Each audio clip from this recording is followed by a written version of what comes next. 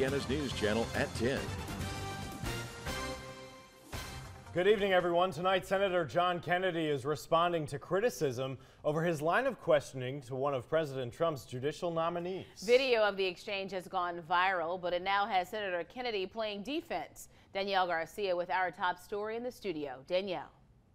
Jim Marcel, the exchange between Senator Kennedy and the nominee, Matthew Petersen, has caught the attention of the White House, which is putting Senator Kennedy in a category he's not typically associated with.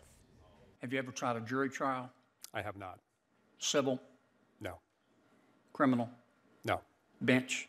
No. State or federal court? I have not. That's the exchange that has so many people talking, including at the White House.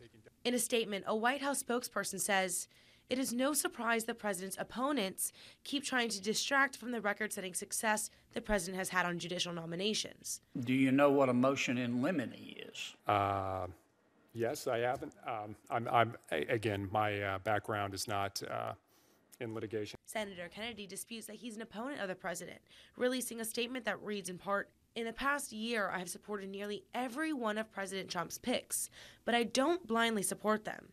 I ask questions that I expect them to be able to answer.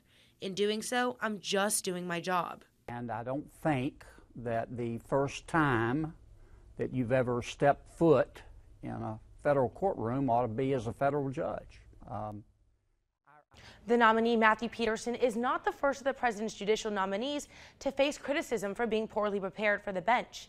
At least two other nominations stalled this week amid similar concerns. In the studio, Danielle Garcia, KATC TV3.